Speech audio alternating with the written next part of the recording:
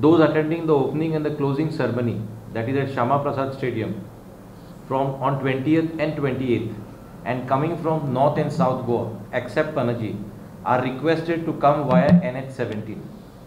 And on reaching GMC in Bambolim, take Goa University Road and come up to the function place.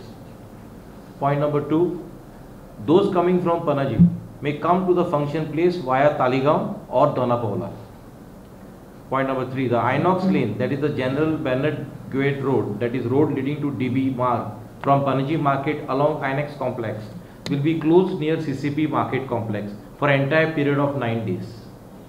Car passes will be issued by ESG indicating the category of the pass and respective parking lots. The parking lots identified for the opening and closing ceremony are Zone A1, parking inside Dr. Shyama Prasad Stadium. Zone A2, parking in the open space adjacent to Dr. Shyama Prasad Stadium near overhead water tank. Parking for the general public attending the opening and closing ceremony will be done in the open space near Goa University Cricket Ground and in the open space near All India Radio compound.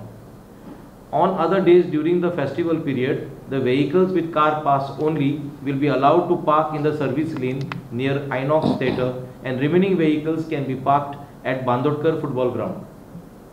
No vehicles will be allowed to be parked on DB Marg.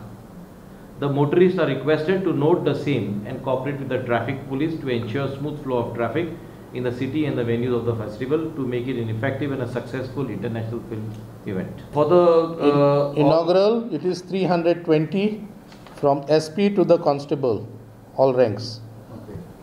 and, and the other Close. days 191. 191.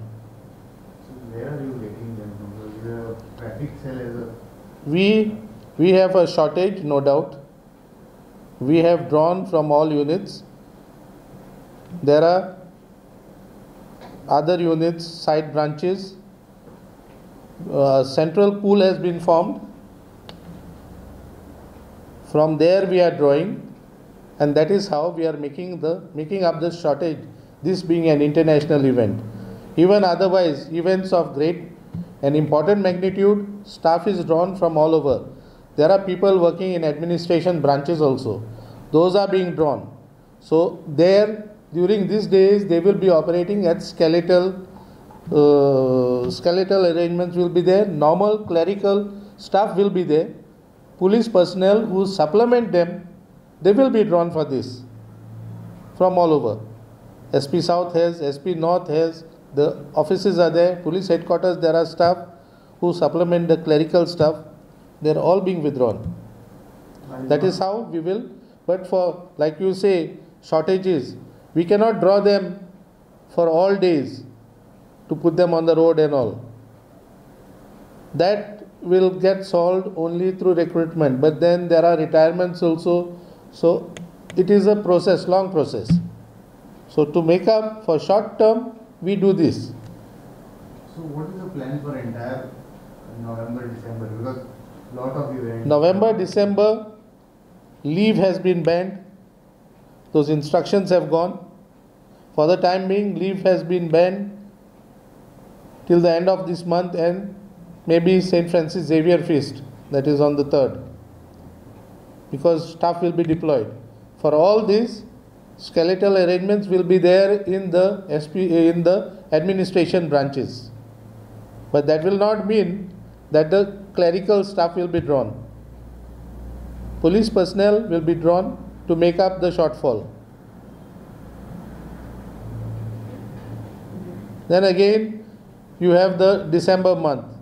There also, depending on the, uh, for example, Christmas week and all, there are a lot of tourist footfalls, say from 18th, 19th onwards. That time again, staff will be withdrawn. Leave also will be will not be granted. Only in emergent cases, emergencies and all, then leave will be granted. But enforcement, how, how, how does enforcement happen in this case? Because lot of your staff. See, you have to wield the stick also, you have to be polite as well. So,